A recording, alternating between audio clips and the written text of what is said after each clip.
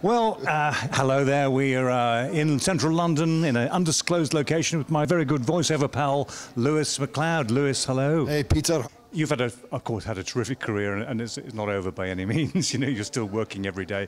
But to go back to the early days, you had a really great break early on in your career with George Lucas, didn't you? Yes, that's right. Well, I was I was in my mid twenties, but you know, I, it was still one of those dream jobs. You know, like to get Star Wars. You know, you'd pay them to get a part in that film.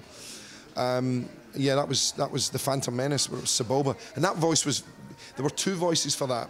There was um, there was the Chota, which was very gravelly, and you can't speak for very long, very long, because it hurts your throat. But then when you were in the race, it was a pod race sequence in the Phantom Menace, so there, there was a lot of audio behind it, and he had this sort of diesel, you know, orange pod racer.